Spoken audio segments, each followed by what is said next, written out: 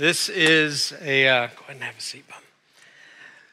Uh, I want to make a couple of introductions. Let me step here for just a second. This is Anne Marie, and I met Anne Marie. Uh, we spoke for the first time yesterday. Um, many of you all know the story, or if you watched the news this week, there was a young student from Embry Riddle uh, who was in a motorcycle accident on Willow Creek this past Thursday. Um, that was Anne Marie's son.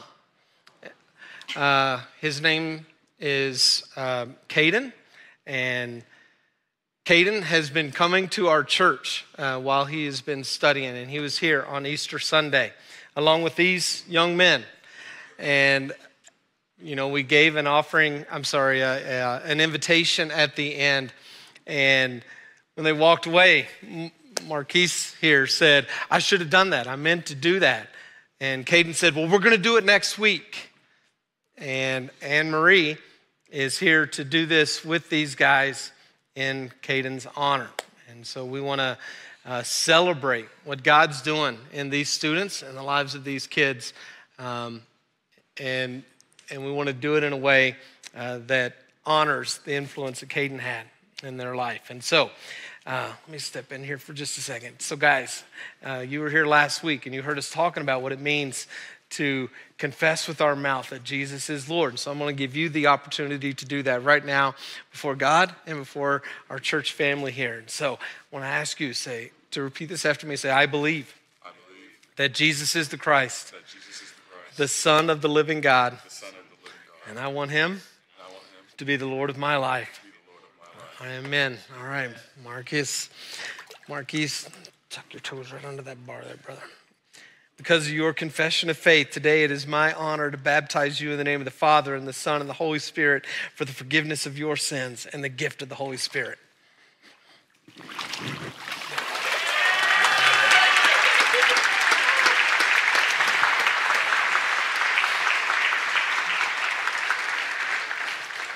All right.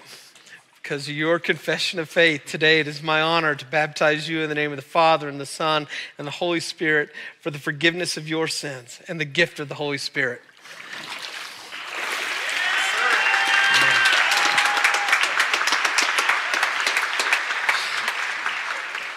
Cohen, because of your confession of faith, today it is my honor to baptize you in the name of the Father and the Son and the Holy Spirit for the forgiveness of your sins and the gift of the Holy Spirit.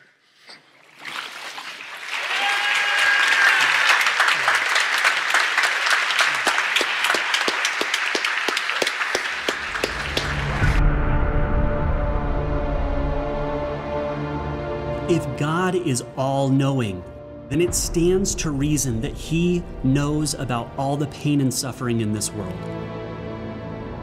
Not only that, but if He's truly all knowing, then He even knows about it before it happens. If God is all powerful, then He definitely has the ability to stop the pain and suffering. If God is all good, then wouldn't He want to stop it? But since pain, suffering, and all kinds of evil persist in this world, then it's our understanding that either God doesn't know about it, God isn't powerful enough to stop it, or God isn't good enough to even care about stopping it. So, if God is all knowing, all powerful, and all good, why does He allow bad things to happen to good people?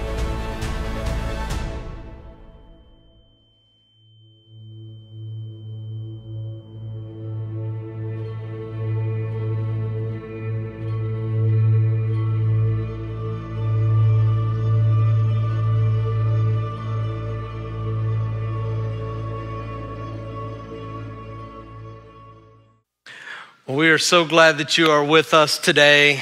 Uh, if you have your Bibles, go ahead and turn them on. Turn them to Job chapter 1. That's where we're going to be today. We are kicking off a brand new sermon series. We're going to spend uh, the next couple of months working our way through the book of the Bible called Job. And Job is written to address what I think is probably the biggest question that we struggle with as humans, at least one of the biggest. And it's written to address this one Why do bad things happen to good people?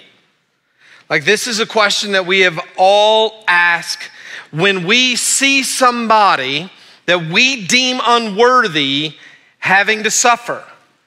We see somebody who is unworthy, uh, we deem unworthy of suffering, and we watch them suffer. Like when we see a child get cancer, or a generous person get robbed, or an innocent person be condemned, or a missionary be martyred, or a servant be abused, or a loving family get killed while the drunk driver just walks away. Like when those things happen, we don't have a category for that.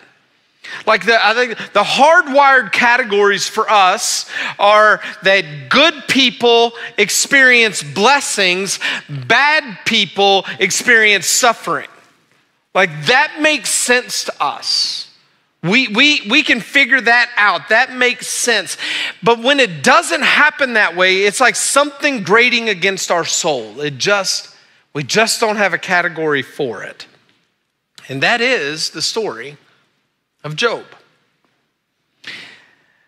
As we kind of kick off this series and we look at Job's story, I want to start by asking you to do me a bit of a favor. I want to kind of set a scene in your mind as we begin. So, would you do me a favor? I know this is a little weird. We won't do anything funny to you, but would you just just take a moment, just close your eyes and just try to imagine with me this setting. Okay? So just close your eyes. I'll tell you when to open them, but I want you try to try to imagine for a moment that you are in a theater. You know, a theater where they do live performances. Now imagine you're in this theater and the story of Job is playing out in front of you like a play. But in this theater, there's not one stage, but there's two. The first stage is on the floor like a regular theater stage. But I want you to imagine that there is a second stage that has been built like a almost like a balcony above that first stage. And the reason I want to imagine this is because the story of Job has two settings. There's an earthly setting and there's a heavenly setting. So imagine that the earthly setting is taking place on the stage below and the heavenly stage is up above. Now, as you could imagine, those on the second stage, the upper stage, they can look down and they can see all that is happening on the stage below. But those on the bottom stage have no idea what is happening on the heavenly stage above them. But from your vantage point, where you're sitting, you get to see both. Do you have that picture in your mind? If you got that picture in your mind, then you can open your eyes because we're ready to go. Let's dive into the text.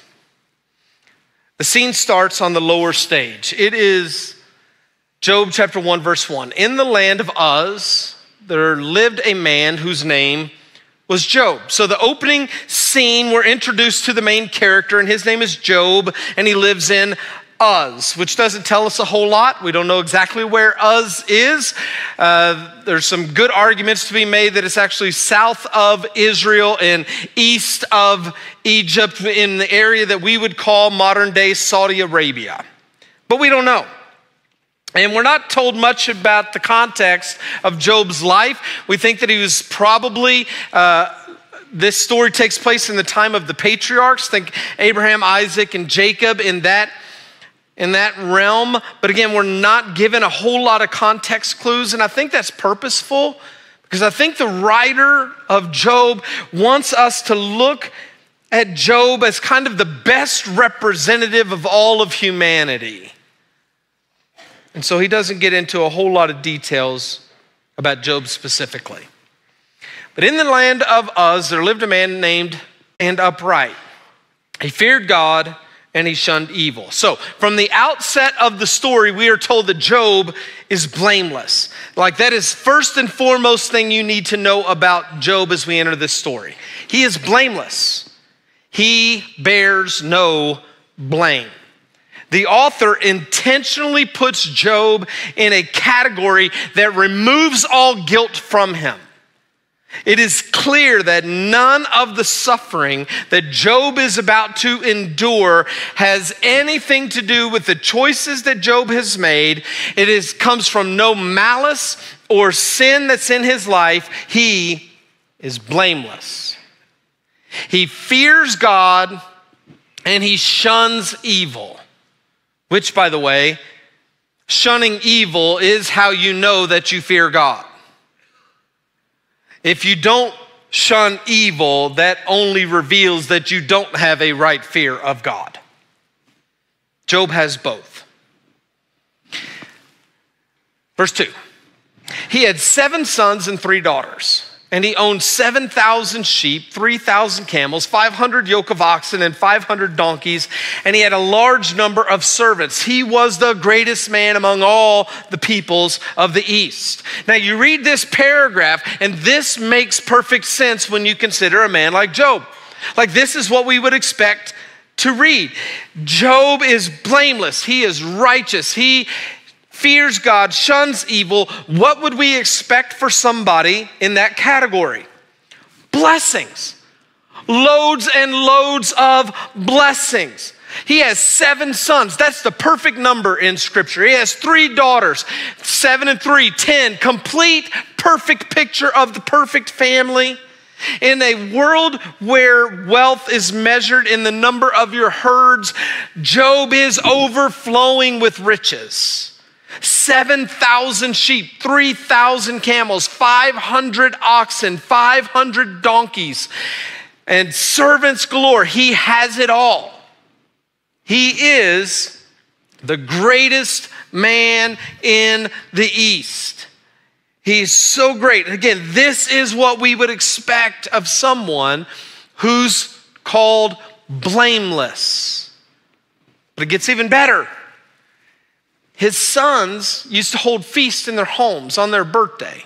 And they would invite their three sisters to eat and drink with them. When a period of feasting had run its course, Job would make arrangements for them to be purified. Early in the morning, he would sacrifice a burnt offering for each of them, thinking, perhaps my children have sinned and cursed God in their hearts. This was Job's regular custom. So not only is Job concerned about being blameless before God, he wants to make sure his children are blameless before God. As was customary in his day, Job served as the, the priest of his family, and it was his job to stand in the gap between his children and the Lord. And so he would offer sacrifices on their behalf, just in case, perhaps, perhaps just in case my children have sinned and cursed God, not in their actions, not with their mouth, but in their hearts, just in case something off inside of them, I want to make sure that they stand before the Lord blameless. So he would offer sacrifices, 10 of them, one for each of his children, sacrifice to the Lord because he cared about his family. Like, like this is the perfect picture of a man who loves God and is leading his family to love the Lord as well. In fact, we have no picture of anyone more perfect in all of Scripture than Job in this moment, outside of Jesus himself. So that's the scene on the bottom stage. And then the lights go up on the second stage. One day, the angels came to present themselves before the Lord, and Satan also came with them. The Lord said to Satan, Where have you come from? Satan answered the Lord, From roaming throughout the earth, going back and forth on it. So, in this scene, we in the audience, we get a sneak peek behind the curtain in the heavenly realm. A view, again, that those on the bottom stage do not get. And what do we see? We see a gathering of the angels of God coming before him. I want to pause for just a moment and point out something that is really important. In your Bibles, if you have them open, you'll notice that this word Lord is a capital L And then it's actually an uppercase O, uppercase R, uppercase D. They're just a little smaller in your text. This is really important. Sometimes the word Lord in your Bible shows up as capital L, lowercase o r d. But whenever you find this text where it's the uppercase letters of ORD, what you're reading in that moment is not the title Lord. What you're reading is actually the name of God, Yahweh. The way that our English translators have chosen to, to designate the personal name of God is by giving us the, name, the word Lord with small uppercase letters. And this is really, really important because when you read the word Lord here, we're not talking about a title, we're talking about God's personal name. In fact, I don't like it that our Bibles have done this. And so whenever I see it, I actually will read it as Yahweh. This is a name, it is God's name. It's personal, it's not a title. And so, you'll hear me as we go through, read it as such. So the angels came to present themselves before Yahweh, and Satan comes with them. Again, time out for just a second. Um, I wish I had time to wade deep into this. Like there are so so many questions that pop out to me here. Like, why is Satan coming before Yahweh? How long did Satan have access to God? Is he still got access to come make accusations against people before God? I thought he got kicked out of heaven. When did that happen? Did it happen? Like, there are so many questions. And I wish I had time to get here, but I don't. But I do want you to know that, that we're going to address all of those questions on our podcast this week. So, for those of you who don't know, we have a podcast every Monday that I we record with a couple of our pastors, and we're going to talk through all of those questions. And if you have questions, then we want to give you the opportunity. You can always text in or email your questions to our podcast, and we will address them on the podcast. There's a lot that we get to cover this week. So if you have not subscribed yet, wherever you subscribe to podcasts, find the Quad City podcast, and you can join us there. Okay, back to our text. The angels come before Yahweh and Satan comes with them. More accurately, the Satan comes with them. Satan is actually a title. Long before it was a name, we know of our enemy as Satan, but before it was a name, it was a title. It means, simply means accuser. So the accuser came with the rest of the angels the accuser comes before Yahweh, and what has the accuser been doing? He's been roaming the earth, apparently looking for people to accuse of wrongdoing before Yahweh. Turns out he is the cosmic tattletale. And no doubt he would have had a lot of people that he could have rightly brought accusations against before Yahweh, but look what happens. Then Yahweh said to Satan, Have you considered my servant Job? There is no one on earth like him. He is blameless and upright, a man who fears God and shuns evil. Again, no doubt the accuser could bring charges against so many people, but Yahweh says, but, but have you have you noticed Job though? Have you noticed Job? That man is blameless. Oh, again, don't miss this. Yahweh calls Job blameless. God Himself looks at Job and says, That man is upright. He fears me and shuns evil.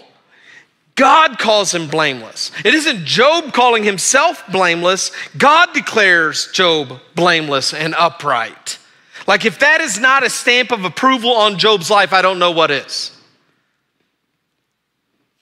And it is God, not Satan, who shines the spotlight on Job. It's God who offers up Job as, as someone the accuser should look at to try to find something to accuse him of. But there's nothing. But the accuser snaps back and says, There's a reason he's blameless. Does Job fear God for nothing? Satan replied. Have you not put a hedge around him and his household and everything he has? You've blessed the work of his hands so that his flocks and his herds are spread throughout the land. Of course, Job is blameless. God, his life is perfect. You've shielded him, you've protected him. Like that hedge of protection that you heard your grandparents pray for so many times, Job actually had it. He was protected and Satan couldn't get to him. And so Satan comes at Yahweh with this accusatory request, but stretch out your hand and strike everything he has, and he will surely curse you to your face. Essentially, what Satan is saying is, he doesn't love you. God, he doesn't love you. What he loves is what you've given him. That's what he loves. He wants all of the gifts, but he does not care about the giver. He is only faithful to you because of the way that you have blessed him. But if you take away his blessings, if you take away all of his stuff, he won't just curse you in his heart. Oh, no, no, no, no. He will curse you to your face. Now, the question that I ask when I read this is why does, why does Satan think that would happen? Why is he so confident that Job would just curse God to his face? Why does he think that's true? And the answer I came up with is because he's seen it, because he's watched it, he's witnessed this happen time and again. And my guess is you have too. You've watched people do this. You've watched people who claim to love the Lord end up cursing him to his face. They once claimed to love the Lord, but then they disavow any and all allegiance to him because something they ultimately loved more than Yahweh was taken from them. And when the thing that they loved more was taken away, their love for God went with it. Yet Yahweh somehow thinks things would be different with Job. Yahweh seems to believe that Job wouldn't do that. And so, Yahweh says to Satan, Very well then. Everything he has is in your power, but on the man himself, do not lay a finger. So God offers up for the accuser power over all of the blessings that he has given Job. Everything. Everything that made him the greatest in the East, was given over for Satan to do with what he wants. Why? Because Yahweh believes that first and foremost in Job's heart, that he matters more than everything else. Yahweh believes that to Job, he matters more than cattle and camels and kids. And I can't help but wonder do you think God would be as confident in us as he was in Job?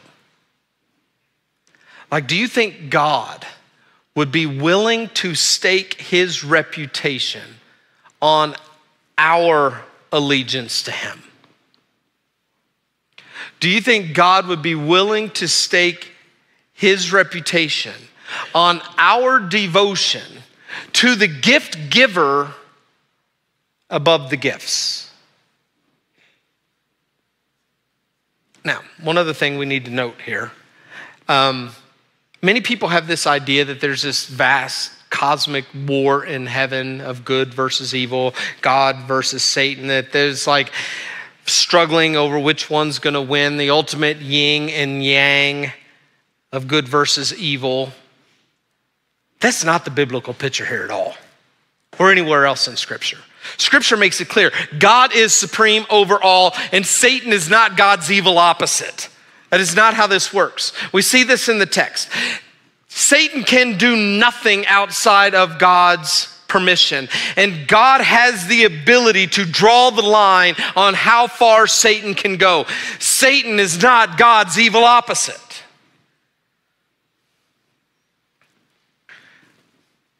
But frankly, that to me makes the question of why do bad things happen to good people even more confounding. God has essentially offered up everything Job has to Satan to do with what he wishes, but he draws the line and says, But on the man himself, do not lay a finger. And with that boundary set, and Satan went out from the presence of Yahweh. And that upper stage goes dark, and the lower stage lights up again.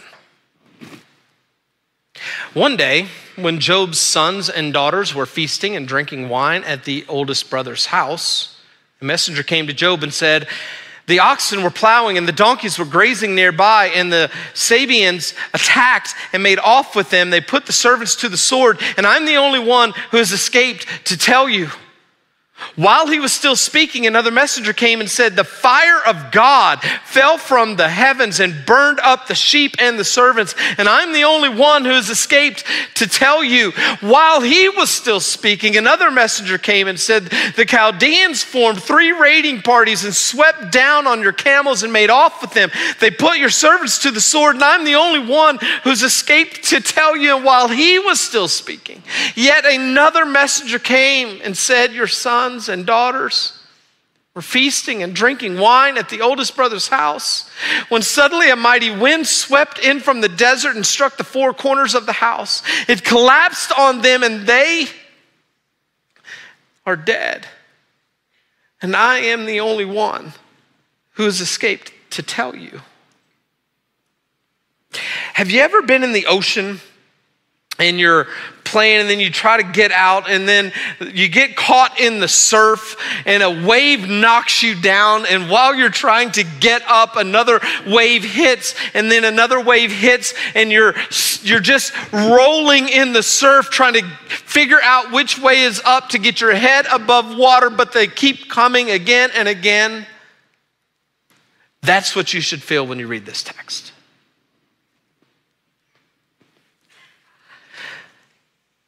Everything in Job's life is taken from him. First, it was the oxen and the donkeys, and they're stolen, and the servants who were watching were murdered, and that, that would be horrible news. That's horrible news. And no doubt it caused great concern for Job. But you can replace oxen and donkeys, right? But before he even has time to process, Job learns that fire from God, don't miss that. Fire from God has fallen and has wiped out all of Job's sheep and the servants with them. And now his concern is turned into panic in a world where animals are your wealth. Job's wealth has now been ravaged, it's gone. But that's not all. Another servant lets him know the camels have been stolen and the servants have been murdered. And then comes the worst news of all all of his children, all of them, not half of them, not one of them, all of them are dead. Any of these tragedies would send most of us over the edge, but Job is forced to endure them all in one afternoon.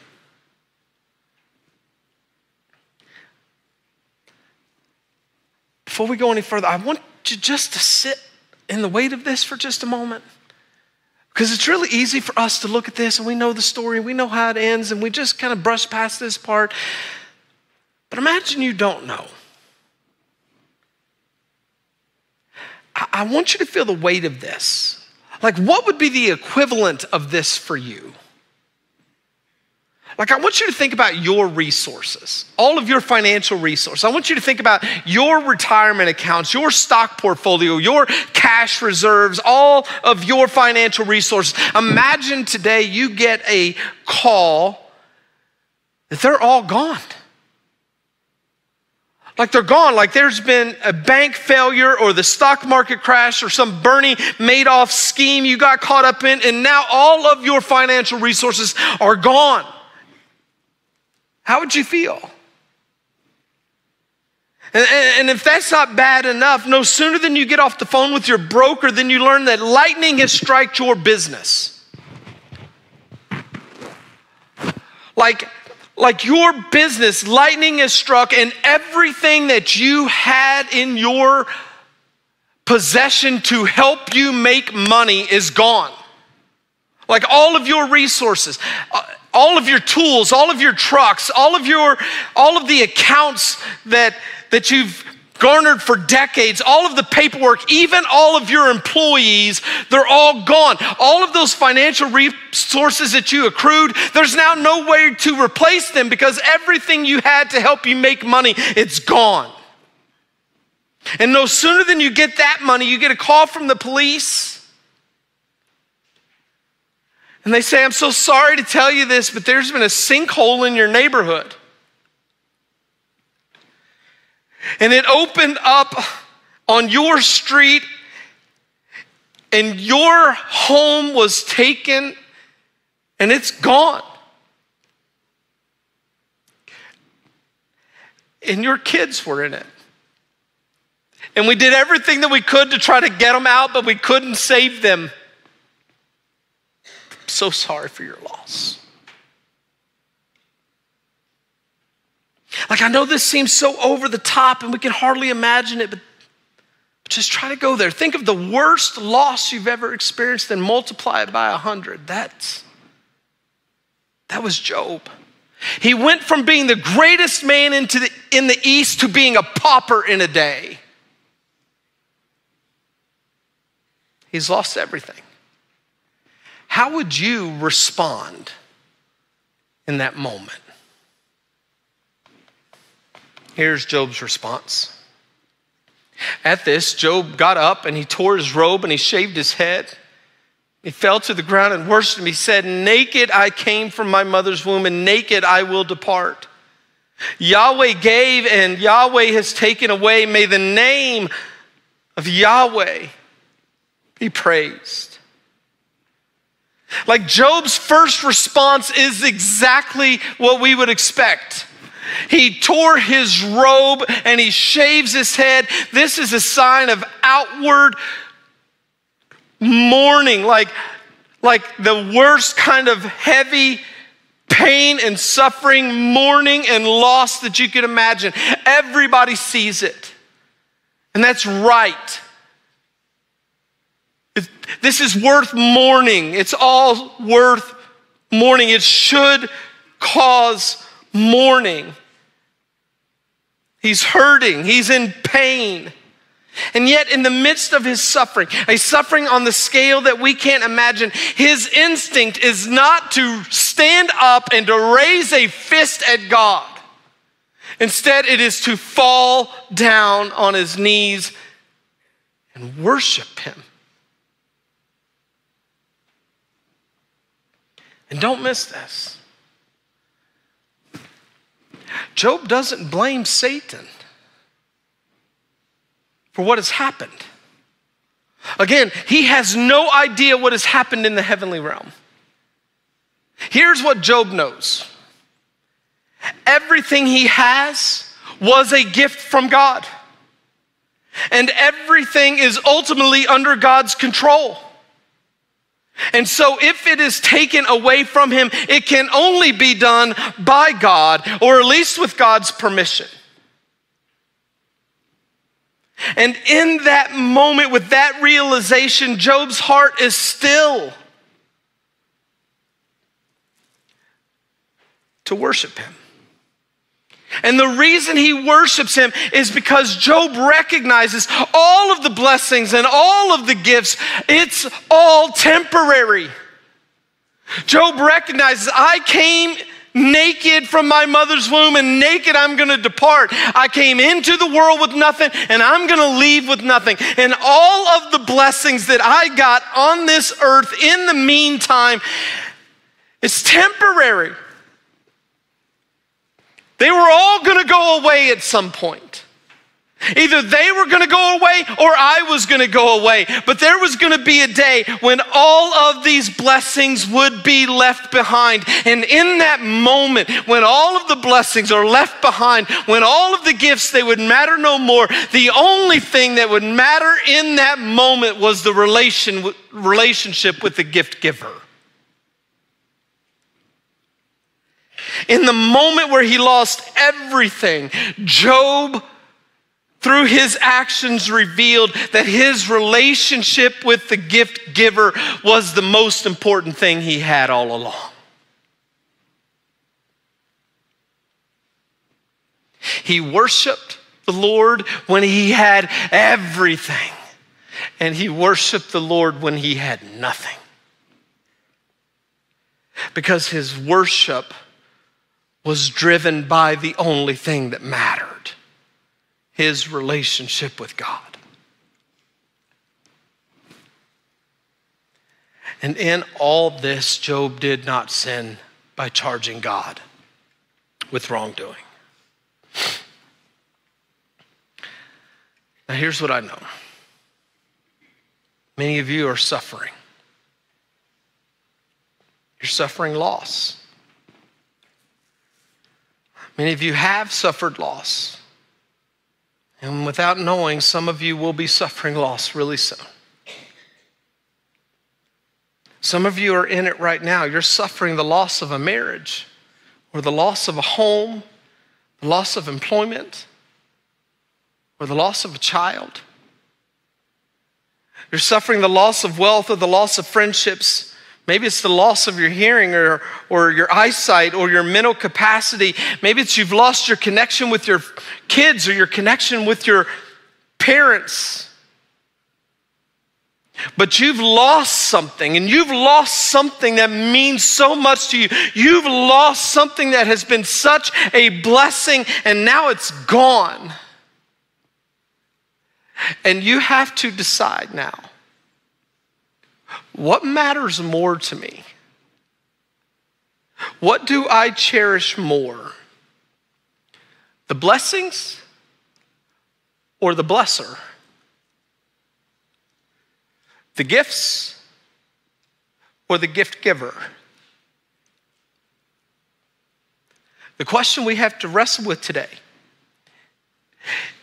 is God only worthy of your worship when he gives? Or is he also worthy of your worship when he takes away? Is he only worthy of your worship when he gives? Or is he also worthy of your worship when he takes away?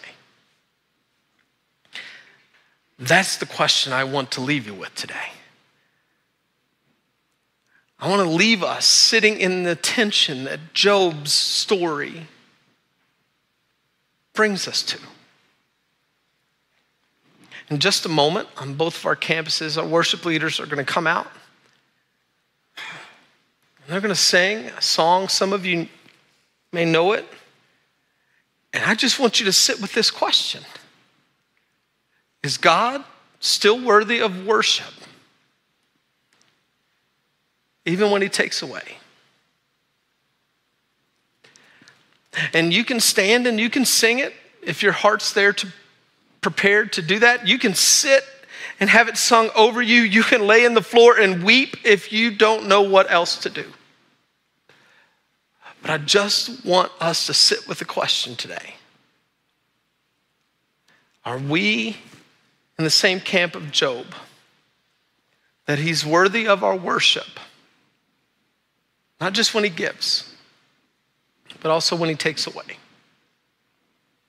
Father, we come today, and on the scale of suffering, we are all over the map in our gathering today.